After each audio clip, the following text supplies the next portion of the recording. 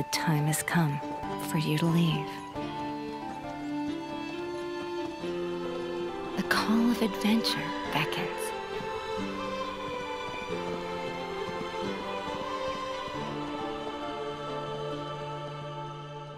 Bless Unleashed is a Korean MMORPG released to consoles on March 12, 2020 from a developer called Round 8 Studios. And published by Bandai Namco that runs off the Unreal Engine, Blessed Unleashed officially came to PC through Steam on August 6, 2021. Blessed Unleashed is derivative of a Korean only MMORPG game that was announced in 2011 to run off the Unreal Engine 3 from a company called Area Games. Oh god. That was only called Bless. Yet when Area Games decided that they would cancel the Western release of the game, a company called Neowiz, oh my god, got a hold of the title and plan to rebuild the game for Unreal Engine 4 and release it in 2018. Now, when the 2018 version of the game came out, it was so bad and so ill received that the developer decided to scrap it all together and start a new game in a new engine, and they called it Blessed Unleashed. So now that all that rubbish is out of the way, uh, Let's begin, shall we?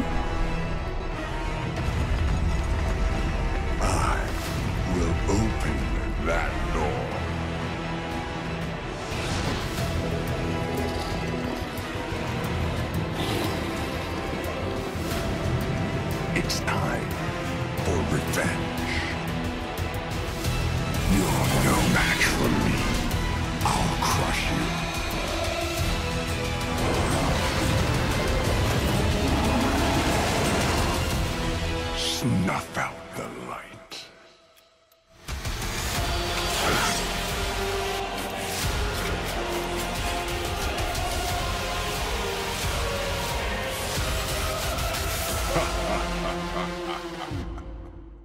So the game loads up to a vista of a castle with some guy crouched down in front of a horse. So yeah, I press start and select new character. First we've got Crusader, who looks like a paladin or a tank. And as a Crusader, you can be a male or female human, as well as another race called Ipin, who go by a gender classified as self-identified, whatever the hell that means. Then you've got your Berserker, who can be this big cringe cat race called Varg. You can select either male or female. Uh, of course, you've got your mandatory ranger class with your mandatory elf specific race selection. I mean, at least it's not female elves, you know, because otherwise I might not even play this at all. So next we've got a mage class, which consists of human and elf options, male and female available for both. On to the assassin class, who can be elves, and that's it, which is something I do not understand. Lastly, we've got the priest who can be either human or the seriously cringe Ipin race. Uh, maybe these racial limitations have lore reasons that I don't know yet. Uh, all I know is that I don't like it. So we decided to go with Berserker, so that means we have to be the big cringe cat people, the Varg.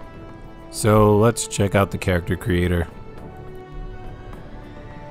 This is an extremely well fleshed out and robust character creator with most of the sliders that you'd be looking for, save a few hair ones. Really think uh, Black Desert Online with this one. We've even got a wide variety of voices to choose from here. I'll go first. Be honorable, Hold on, I will help you. Don't get in my way. something must be done. Pathetic. Would you like to try a jelly I made out of slime? Small. How rude. Whatever the truth. I gotta say, pretty impressed with this. So first things first, we're greeted with this preview cutscene. Let's see if it's any good. It's probably not, but let's check it out. Where the light ends, a black blade shall split the sky. And Luminous will return to sow the seeds of shadow once more. Famine and decay will follow in her wake. And the lash of war will be unleashed.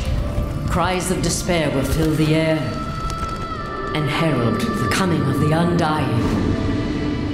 An ancient seal will be broken, and an army of chaos shall rise from the breach. Only a bearer of the lantern may be able to hold darkness at the door. The die has been cast, and Luminous awoken. Before the goddess of darkness can conquer all, go forth and find the fragments of the gods. So basically, looks like a big GG fuck off Death Knight mommy god has awoken and she rolled critical hit on the planet in which you live. And now it's time for you to go and venture forth with your party.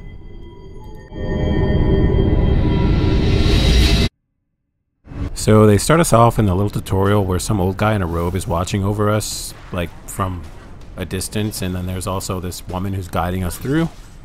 We defeat a few monsters and then a big monster at the end of the tutorial. Combat's really simple and tied right to the left and right mouse buttons, as well as the 1 through 4 keys. It's really simple and fun. I really enjoyed it.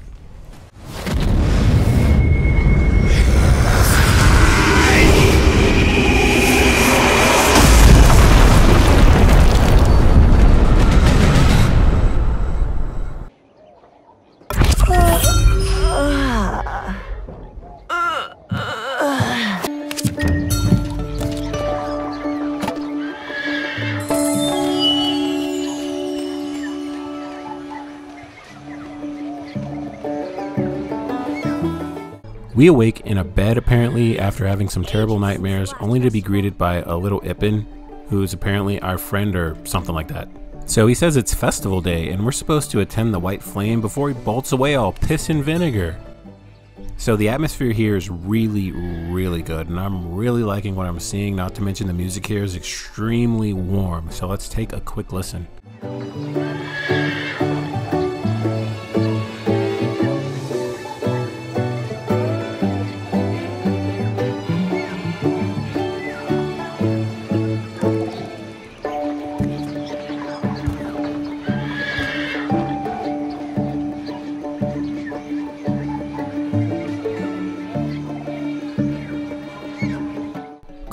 School or whatever the hell you want, but this is how I like my MMOs to start and stay.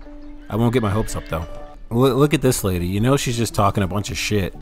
Look at her. You know she's like, oh, oh yeah, Tom, that no good rotten piece of shit, not worth a single fuck.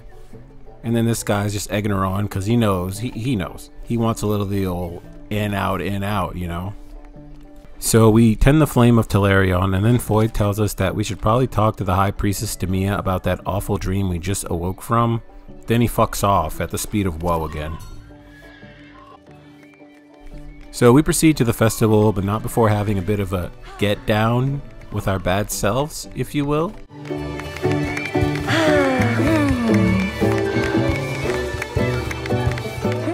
So for some reason, I'm extremely fond of this opening experience, even though this lady isn't cooking anything in the pan, but let's move on from that. And I can't tell you why. Uh, might have been what I was going through IRL at the time when I first played this, or any number of things, but all I know is that I... Oh my god, what the piss? What's the... What's the rating on this shit again? I mean, I'm not complaining, but... Don't kids play this? What the hell? Uh, who makes this again? Really, though, the densely packed nature of this starting area lends it an air of competence. I don't know. I say that now until I hit that old stale part that kicks up a bunch of stagnated fart odor like plopping down on that old couch your friends were blowing hot nacho cheese farts into the day before.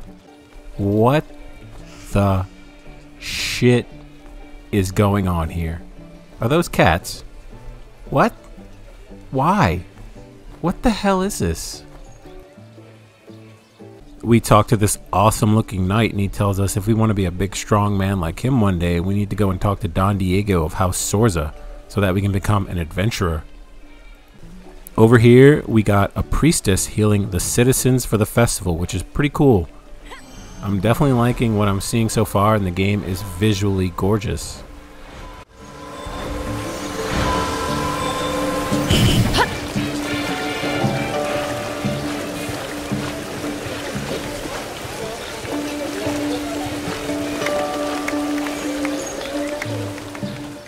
So we toss a coin into the Fountain of Telerion, and it gives us a healing boon effect, which is also a pretty cool little touch they added in. I have a chat to the High Priestess Demia and tell of our horrific nightmares, and she tells us to just simmer down Hun and meet her after the festival so we can discuss it. Uh, then we talk to Don Diego of House Sorsa, who tells us that we were an orphan and have an adventuring air about us.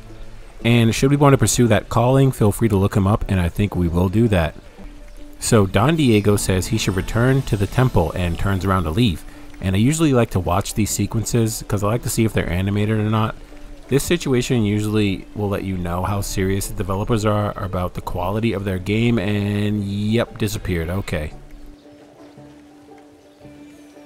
So we head back to Foy, and he tells us that we need to go and find a guy named Ruben, but not before flexing and showing off a bit with some of our compatriots. Ah. So we find Ruben awkwardly crouched behind a pretty small little ledge here, kind of out in the open, spying on some guys called the Faceless. Which is already a lie because I can clearly see that these guys have faces. So we step two centimeters away from Ruben in order to spy on these guys who Ruben think is going to show him up in his troupe act tonight. Uh, it's the festival. Apparently he's in a an acting troupe, and these guys are his rivals, or so he thinks. But what's really going on is something much more dark entailing a dark goddess. So we go back and tell Ruben, but he's an idiot, so he still thinks this is about some acting troupe. So we instead tell Foy, who says it's no biggity, and Demia will proceed to lay the fuck smack. We enter the temple where Demia is, and I'm instantly getting like year 2000 Final Fantasy Underwater Temple vibes, which is like pretty super duper cool. So we let Demia know what we've heard, and she tells us that they've come for us and the end is near. And we need to run out and tell Don Diego. So we tell Don Diego that Demia says that they are coming for us and we need to be prepared. To which Don Diego responds, doubt it. Then proceeds to mansplain how she's just flying off the handle and everything will be okay, but he will send a few soldiers just in case. You know how women are, right? Directly after that conversation, we're treated to this cutscene.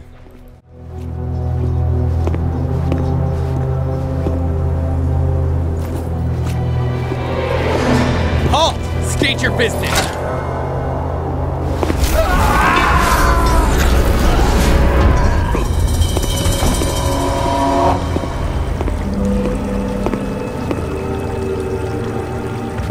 So, this is where you've been hiding. Gideon! Do you remember how we parted all those years ago? It was the will of Viscera. Of course it was. My god, however, desired something different.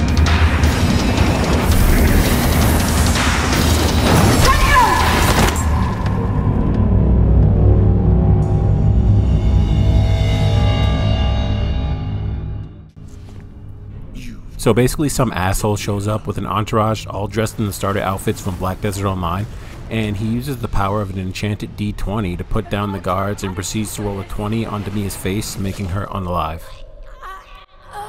They're welcome to try.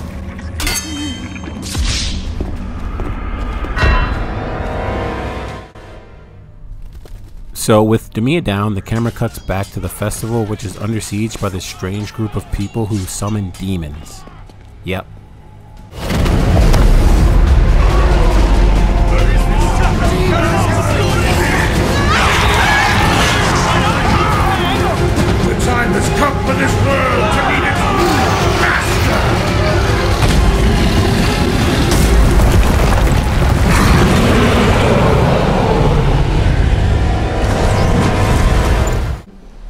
So we fight back the hordes of hellhounds and shadow spawn. Foy risks his life to eat a fireball to the nostrils, and before they can get us, Don Diego swoops down from Stormwind on his griffin and quickly clicks the flight path over to West Falls, and we barely escape.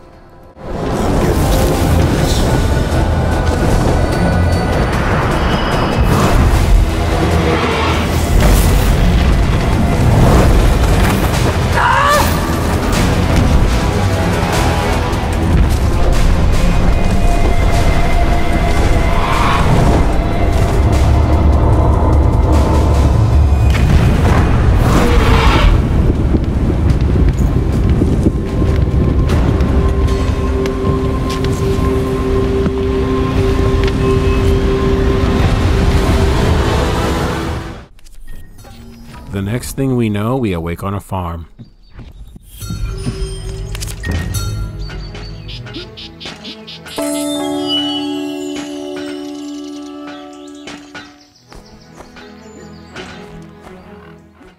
We have a chat to the person who owns the farm, Marco. He tells us that we fell off the Griffin with Don Diego and he left us here to recover from our injuries. Before anything else, we should probably get a little food in us, so he bids us to go speak with his son, Giovanni. Giovanni gives us some soup and tells us that we've been asleep for an entire week and that our griffin has been injured from when we fell and we need to go heal it right now. You mean the griffin that fell more than seven days ago? And you didn't help it? What kind of sick freaks are you people? I mean, who leaves a mythical creature like that writhing in pain for an entire. Look at it! Anyway. So, I need to get the hell out of here as soon as possible, but before that, I need to change my key bindings because they're, they're just not right. So, let's see how convoluted the hotkey system is.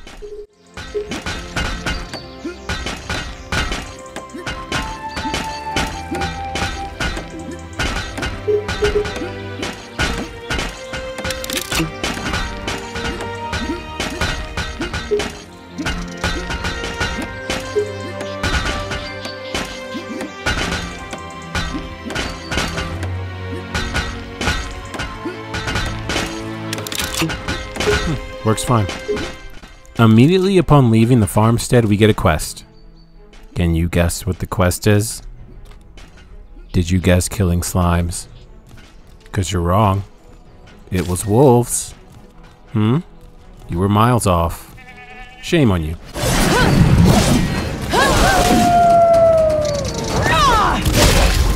So before we set off on our grandiose journey, we meet Giovanni at a nearby gravesite to pay respects to uh, something, his mom, something like that. And Marco tells us how to get to Don Diego's estate. So we should be on our way, but it turns out that Giovanni all of a sudden wants to go with us because of the fact that he lives on a farm and he doesn't want to be living on a farm anymore, or something like that, or involved with living on a farm, something like that. So he wants to leave. So after very little resistance from his father, Marco, he's allowed to tag along and we make off to Karzakor City, the capital. To my delight, a friend of Giovanni's intercepts him before we can set off and lets him know that they had shit to do. So they'll meet us up ahead. Which is fine, because I gotta admit, I did not want to be going around with cringe farmer son foe today.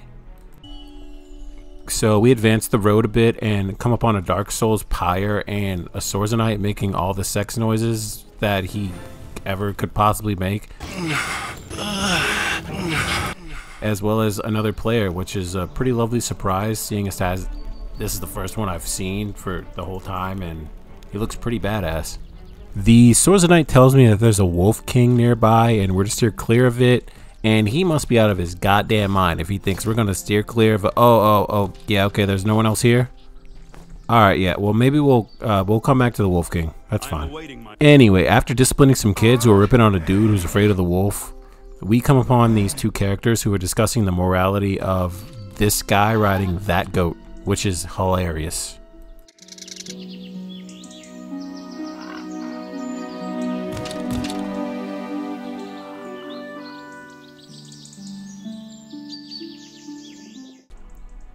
We come across some people who are accosted by the faceless bandits, and she asks us to clear them out and save the potatoes. So we hop right on that, and we find this weird girl trapped by, with a parrot. She says the parrot will eat her if we don't get it some food. Whatever, bro, whatever. So we get her parrot the food, and she thanks us for saving her life before we're on our way. What even is this?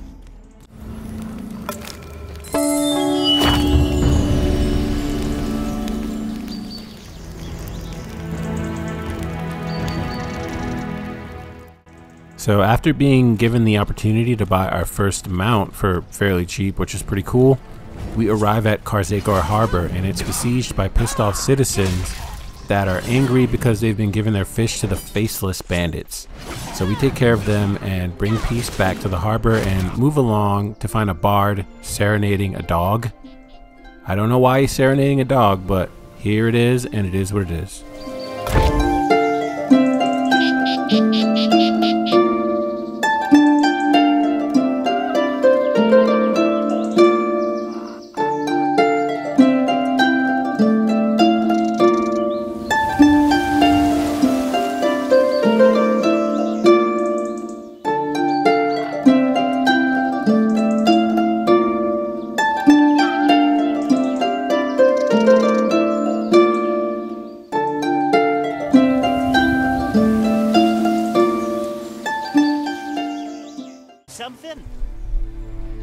Take some fish scraps from this fisher and trade it to this cat for a bottle of wine, which we then trade to a nearby beggar for a sack of grain. Fair trade, if you ask me.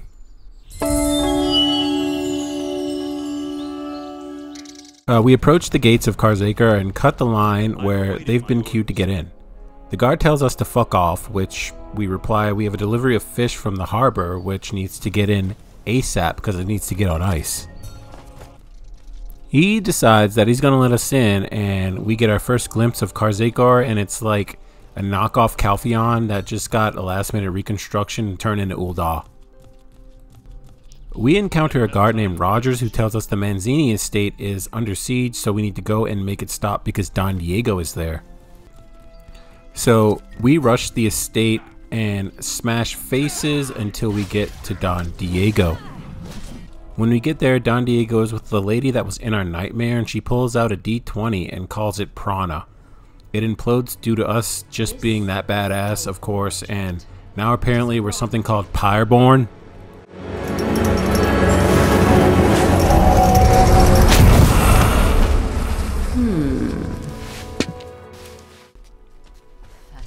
Apparently, Pyreborn are children blessed by the goddess Pysera, Pysera, Pysera, the god of order.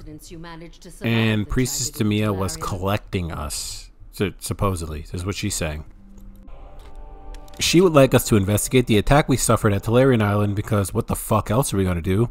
And we need to get her staff and meet her at a farm called Galapas. She'll teleport us near to where her staff is, which she does.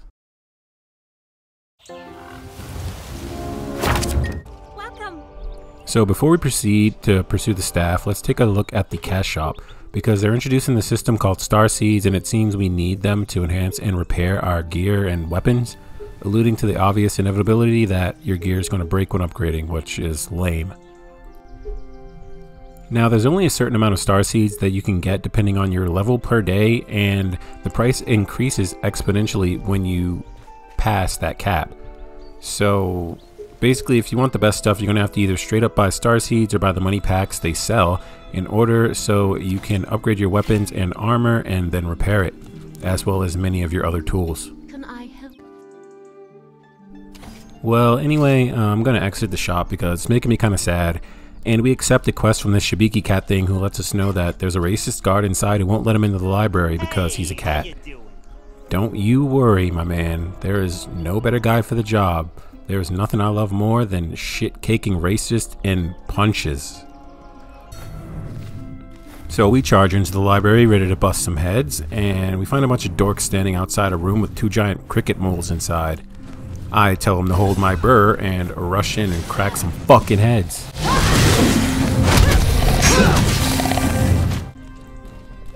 So after saving their goddamn lives, I emerge from the room and they all look at me like I'm stupid except for one guy who applauds. Yeah, don't mind me, I just jumped into imminent danger to save your goddamn worthless asses. After putting down the crickets, we searched the room for the staff, but it's not there because some asshole took it. He left behind a bunch of fertilizer that glows red apparently, and that's why the crickets are so big and why they were there in the first place. And there's more going on here than meets the eye, clearly. Be vigilant. So now it's off to the Arcane Agricultural Department, which sounds ridiculous, but not before finding our racist and telling him that he needs to go ahead and simmer down or we're going to tell. He says, alright, the little Shibiki can come in, he guesses, and he gets to keep his life for today, I guess. We bump into one of the agricultural apprentices and she's got books laying all over the ground. We help her clean them and read a few to uncover a ploy about someone spiking the fertilizer with prana in order to counter an ensuing famine, I guess. Apparently, that's making the bugs freak out, and there's also tell of a new sponsor for all this fertilizer and material.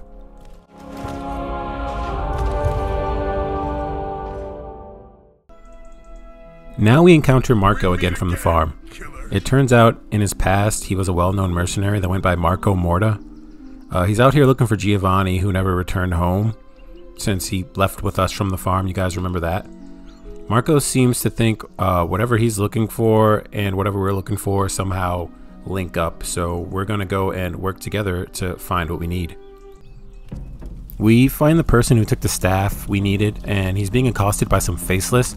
They're apparently working together with him, but now the agriculturalist doesn't want to help him anymore since the bugs are flipping out. So they got mad, and we have to jump in.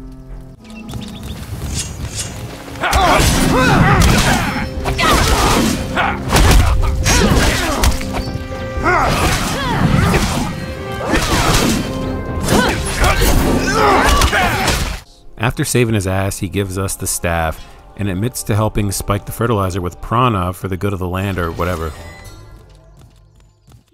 So the staff is broken, of course. So we need to get it fixed, and we head over to the ancient amphitheater to find out who can do that for us. We find the guy, and he tells us stuff needs to be fixed, and he needs stuff to fix it, so we have to go get stuff. Before we actually get what he needs, we encounter an opportunity to explore the crafting system and actually craft an upgrade with materials that we already had on us. This was great and certainly will make my tits perk up when I see those materials out there in the open world.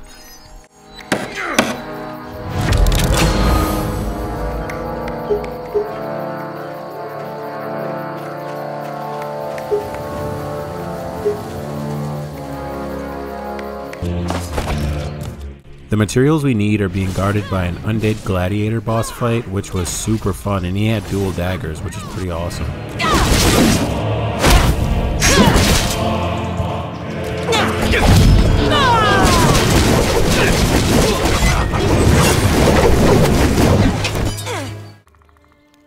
After we take him down and we get what we need, we can be on our way and we meet a few cat people who teach us fishing, and I love fishing.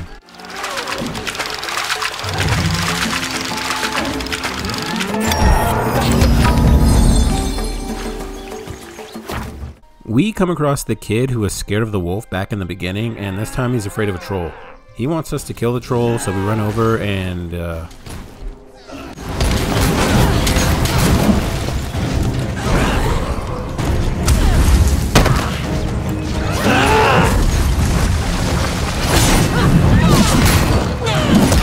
Yeah, it's just not gonna happen.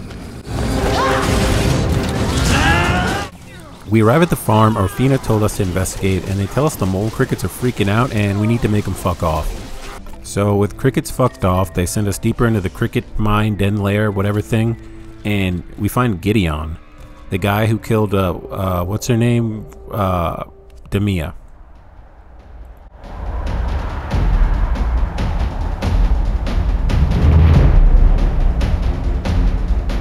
Gideon confirms his plan to make the crickets freak out and leave so we can take down the donkey henchman and find Cosimo's dead body. He was to meet us here via instruction of Orfina. Supposedly, according to Orfina, Gideon is engineering the famine in order to use prana to, to do a thing. Who knows? Who the fuck knows? Now we know where they'll strike next. Pirlo's farm and they want to resurrect actual dead people, so we're to get our asses over there now. On the way there, we meet this asshole Bart again who's still serenading the same dog, but this time he wants us to help him abandon it. Wow, what an asshole. We also meet this guy who's apparently a farmer and has been watching too much Friday Night Live, so he thinks he can go and be an adventurer. He challenges us to a fight. I mean, I guess it was a fight. But shortly after, he simmers on down and decides Farmer's son is actually perhaps more lit than he may have previously conceived.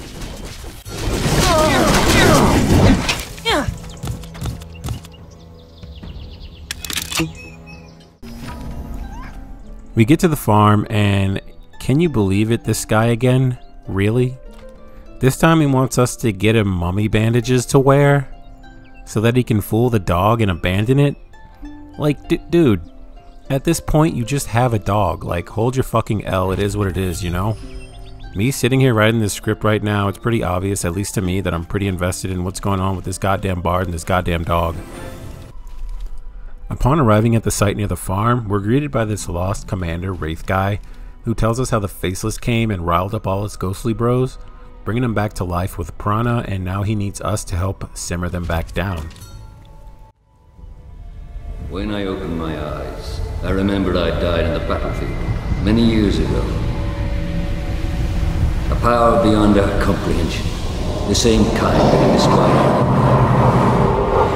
woke us from our slumber. It's working! The dead are rising!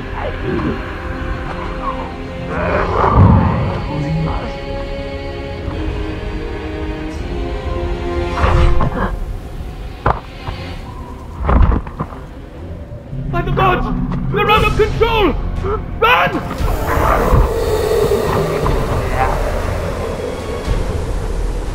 A foul magic has gripped the minds of my brethren.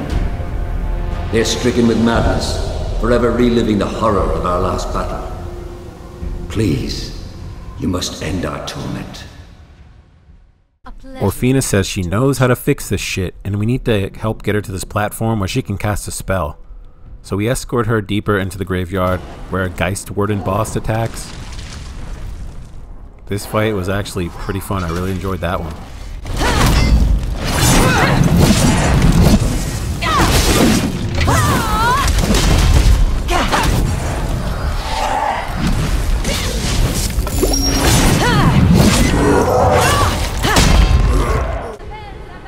Orphina casts her spell and makes the wraiths calm the hell down so we can leave. We meet her back at the Manzini estate and she lets us know that it's time for our first blessing. So we gotta go back to the graveyard and kill a boss, uh, as well as another couple of highwaymen in order to receive the blessing. We get to the graveyard and luckily there's already a few people there fighting the boss and we jump in and beat its ass. With asses beat, we can now see that the two highwaymen, they're just a basic ranger and tank combo. One backs up and takes pop shots, while the other one gets up close and personal with the shield. Pretty cool fight. Alright, that's enough dicking around. Let's talk some serious business here. I was willing to give it a chance, but this game's lack of voice acting is goddamn ridiculous. And I understand they probably don't have a whole lot of money after remarketing the game eight goddamn times, but really, come on. I'm a firm believer that anything important will always be voice acted, and I'm not about to piss on everything I love for Bless Unchained or whatever it's called. It's not like the voice animation they had was even bad. It was pretty good, albeit one or two lines. And the equipment enhanced system, oh my god. I mean, it's something I don't even understand on a base level. The way it's presented makes me not even want to try to learn it. It's kind of like getting a Porsche for your birthday and it has tribal flames all over it in anime girls. Only it's not vinyl it's paint. I mean, did they even look around the room before they put this shit out? Games like Final Fantasy 15 and Elder Scrolls Online had been out for years already. You'd think if you want to be in a competitive market with titans like that, you'd at least have base requirements like voice acting or not being paid to win.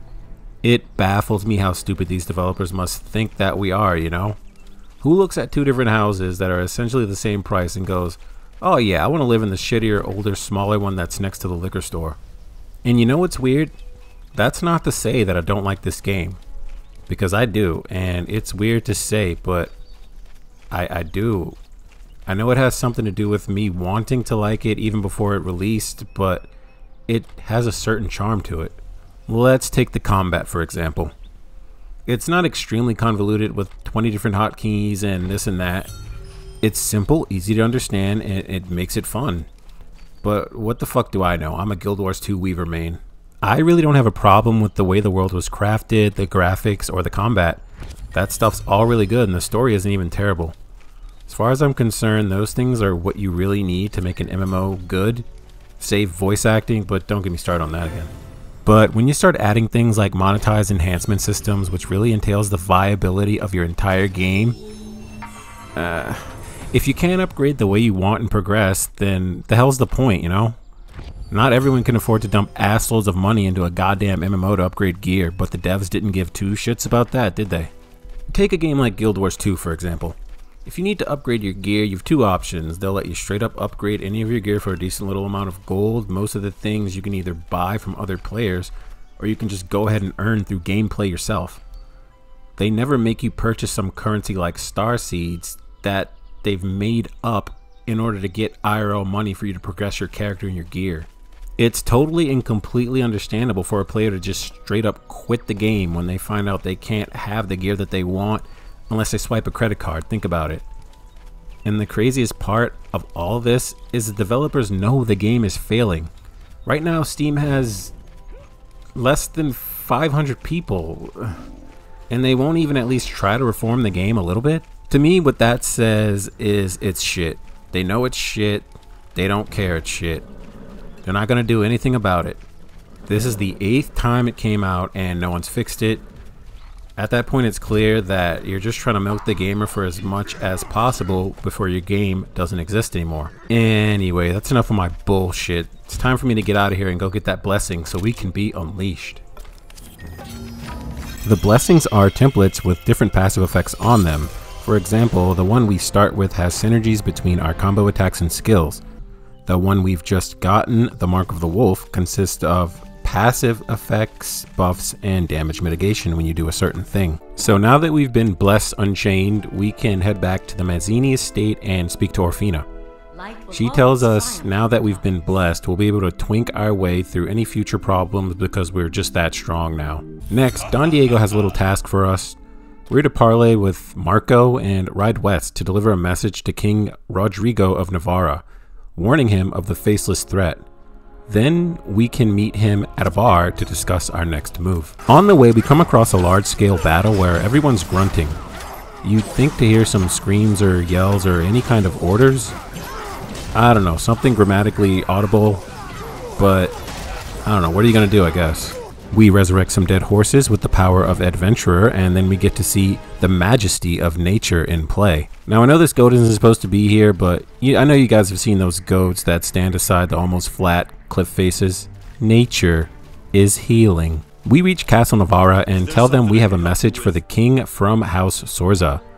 The little dipshit of a guard says that the king isn't seeing anyone and we'll need to give our letter to the Chamberlain of House Sorza. She says that the king is away at war, but she will let him know and we're to run back and tell Don Diego. We run into our bard friend again who seems to have successfully abandoned that puppy for shame. And also, what's with this audio loop?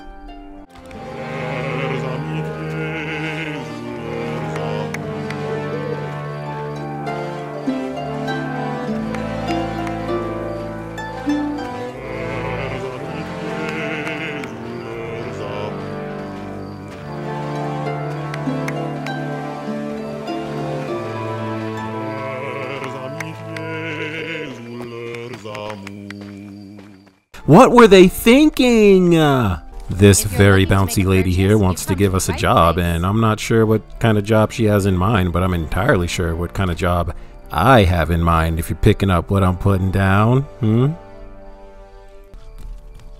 We catch Don Diego outside the bar who asks us if we've delivered the letter and then tells us to go help Marco stop the bandits from stealing the mounts from the Empire troops in some remote village and on my way there I come across an everlasting ore node.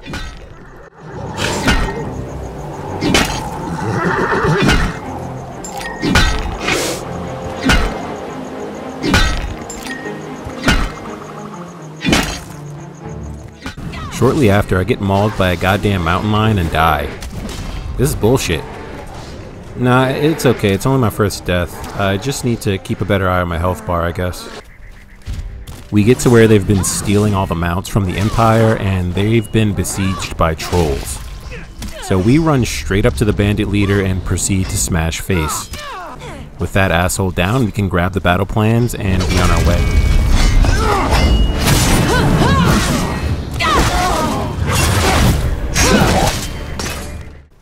We head back to Marco who tells us the battle plans ain't enough Uh, he knows of another bandit taken captive by the Gnolls, and we need to hurry to find them before they get eaten. And he'll take the battle plans back to the Chamberlain of House Sorza for us. While en route, we come across Clarice, the parrot lady, again, and she's tied up again, and she's not asking to be freed again. Instead, she wants us to go find a deer. So we find a specific deer in a sea of similarly named deer to complete the quest. She gives us the title Bambi Chaser, and we just walk away. We encounter this lad Hector, who's just seen the Harpy Queen swoop down and snatch our mark before GGing a bunch of gnolls. He points us in the direction of the guy who knows more about where our mark might be. Before we can be on our way, we spot Aiden, the scared little kid again, and this time he's scared of three bandits who are skinned the exact same way as our last two highwaymen that we fought. And they're sporting the names of the three musketeers, Athos, Porthos, and Aramis. Uh, this Sorzanite says he has a trial for Sorzanites, which I guess we're being considered as now, and we need to queue up in matchmaking right away. So while we're queued up, we're going to keep on keeping on because I'm not getting any hopes up of actually starting the dungeon. So we find the guy who knows about the Harpy Queen and where the guy we're looking for might be. He says the Harpies be tripping and we need to make them simmer down. We end up finding the guy's body and a note on it saying they're going to attack a nearby ranch for the horses, so we rush over there to warn them. We tell Gilberto Castro they're about to attack, and he says they're here now, so we gotta fight these assholes. We take down their leader, and Gilberto says he managed to capture a bandit alive. Gilberto can't interrogate him because the guy used to work here at the farm, so we need to do it. We interrogate this guy and he immediately snitches on some lord named Guiscardo, who's fortifying a base up north. Apparently this guy wants to rebel against the Empire or something like that. We tell Gilberto and he says the guy was a leader of a previous Navarran rebellion and we're dealing with a rebel army. He says he will go to warn the city while we Leroy Jenkins our way into the stronghold. Upon arrival at the fortress, we crouch down behind a few old boxes and proceed to eavesdrop on some of the bandit leaders. They say that since we've busted up their little plans at the farm, they'll instead kill the Chamberlain of House Sorza, Tatiana, before we're noticed and need to defend ourselves.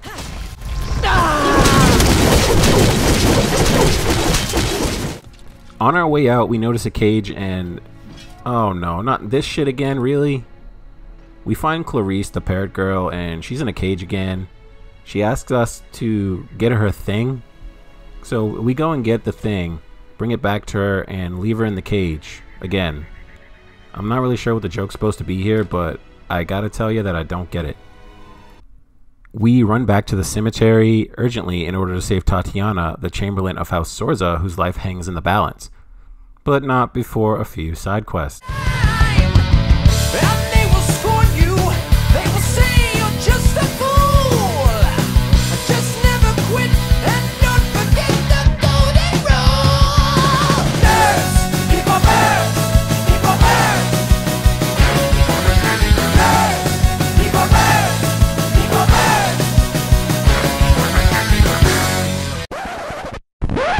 With that out of the way, we arrive at the cemetery to find Tatiana, to no surprise, already under siege by the assassin.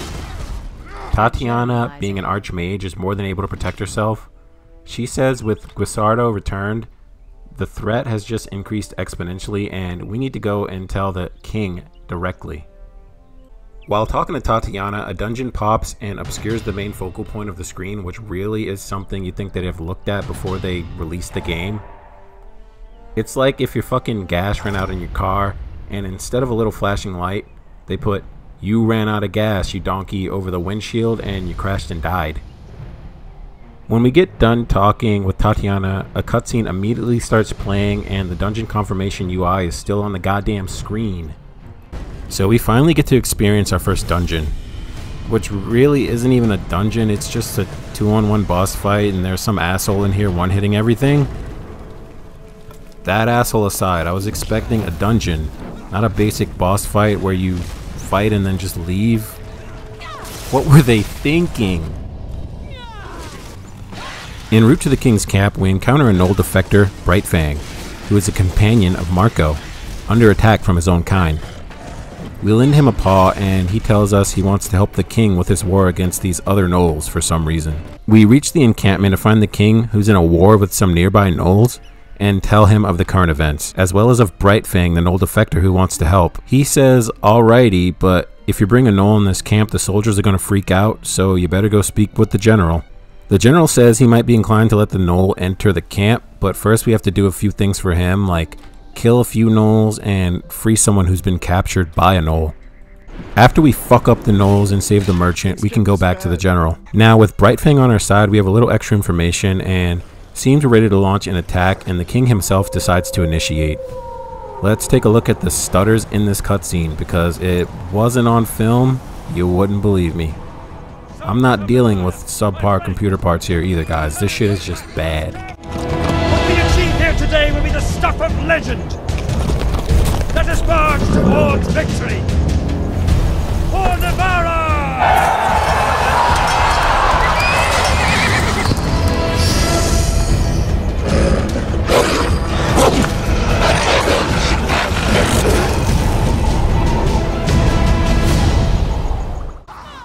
So we crush a few of the smaller ones, as well as a few commanders before the big chonky boy comes out swinging a big fucking buffalo leg or some shit. Super duper fun fight though. Blessed Unleash is, is not a bad game. It isn't. The foundations of the graphics, controls, combat, and audio, save the voice acting since there's very little, are all just fine. This has the potential to be a really good game. The problem is the monetization tacked on it by Neowiz and Bandai. That's what the problem is.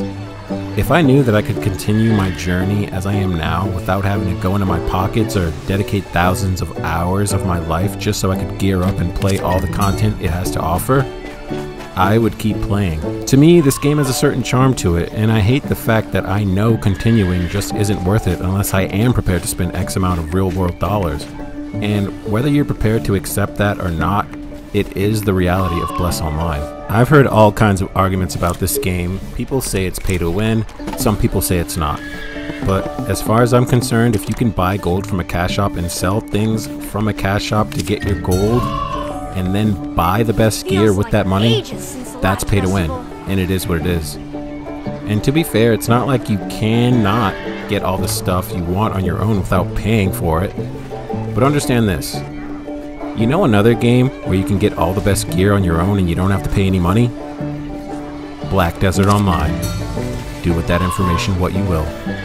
Let's take a few seconds and read some reviews from Steam. Played it on Xbox? Still playing it now. 9 out of 10. 1,276 hours played. New World Waiting Room. 3,562 hours played. Before I played this game, I had a small penis, no girlfriend, and no will to live. None of these things have changed, but the game's pretty good.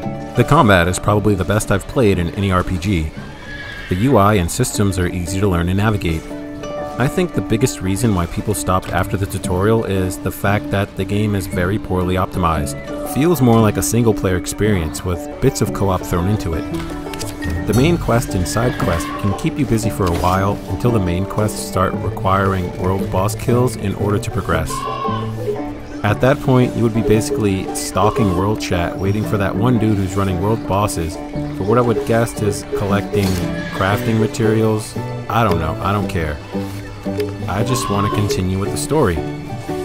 That or you could join one of the maybe three active guilds and ask for help.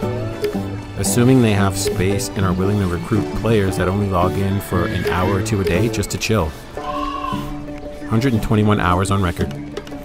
Wallet Unleashed. Forced PvP after level 30. You can toggle off PvP, but this only makes it so that you can't attack other players, but they can still attack you. Pay to win. Same developer as Bless Online, although they attempted to confuse people with a studio name change. After level 30, need pay real money for Avoid PvP. I'd rather wait New World release on 28 September. Never played a game where you pay real money per hour to have no PvP. 117 hours at time of review, and I really cannot recommend this game. Between unhelpful community and the other garbage mechanics, this game very quickly lost its luster to me. It was fun as heck at first. Not that I'm stuck waiting for Marketplace to come back. I guess he's waiting for the Marketplace, and it's on a timer, like a weekly timer. Waiting for weekly resets and saw how people are once get to level 35. I'm just not interested anymore. Once some other games drop in a week or so, this game's getting uninstalled. Funny. The review about the Force PvP is absolutely crazy, but I gotta say, I agree with every last one of those reviews.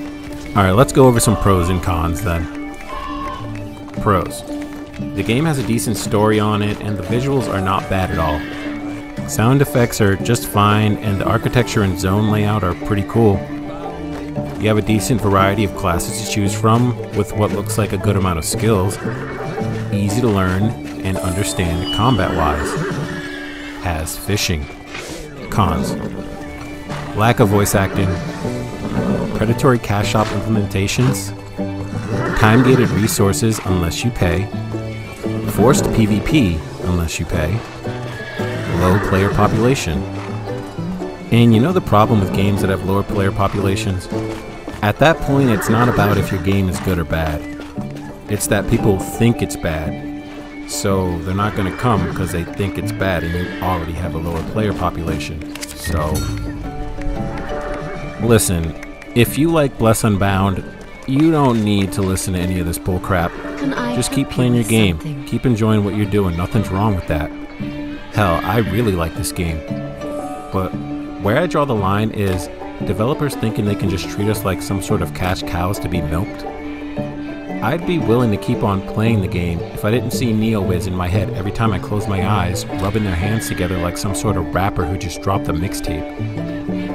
But no matter what, Bless Unleashed will sadly always have a place in my heart. What about you guys? Hey, thanks for checking out my video, guys. I really appreciate that and I really appreciate the clicks. So I sincerely hope to see you guys in the next one. Blame Blast out.